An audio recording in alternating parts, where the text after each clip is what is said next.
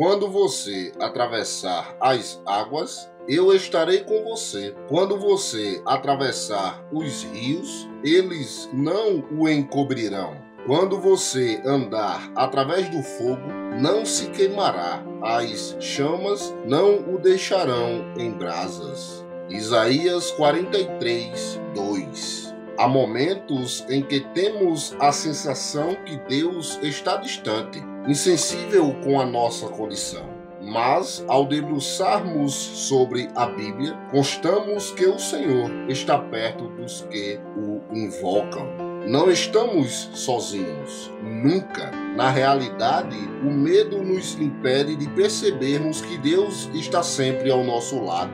Nessas situações, devemos voltar os nossos olhos a Deus e não para as adversidades. Jesus é nosso norte, nosso GPS. Com ele nunca ficaremos desorientados quando cruzarmos as águas. O povo de Israel passou por adversidades no deserto. Todas elas foram superadas e não perceberam que Deus não os desamparou em nenhum momento. Para chegar à terra prometida, era necessário passar pelo deserto o povo levou 40 anos para atravessá-lo devido às murmurações e más escolhas.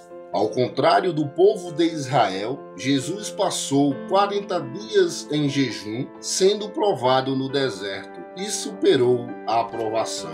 Assim como Jesus, passaremos também por desertos e temos que nos preparar para esses dias. Não há como atravessar um deserto sem refletir no que se passou.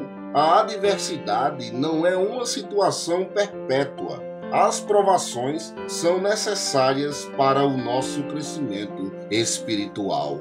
Tenha sempre o bom hábito de ler a palavra de Deus. Ela é uma luz diante dos momentos obscuros e te indicará o caminho. Lembre-se que a adversidade é momentânea. Busque o Espírito Santo. Ele nos conforta, instrui e dá condições para superarmos estes momentos. Quando parecer insuportável, clame a Deus.